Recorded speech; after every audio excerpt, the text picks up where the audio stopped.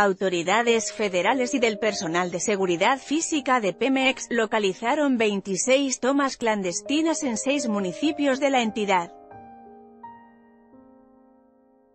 Por tanto, el Ministerio Público de la Fiscalía General de la República, FGR, de Tamaulipas abrió 14 carpetas de investigación contra los responsables de delitos cometidos en materia de hidrocarburos. De acuerdo con la denuncia interpuesta por personal de seguridad física de petróleos mexicanos derivado de los recorridos de vigilancia en los ductos de Pemex, fueron localizadas estas 26 tomas clandestinas herméticas en la estructura del ducto.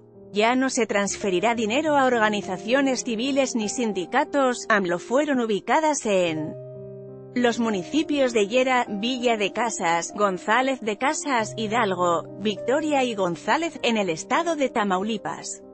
Posteriormente,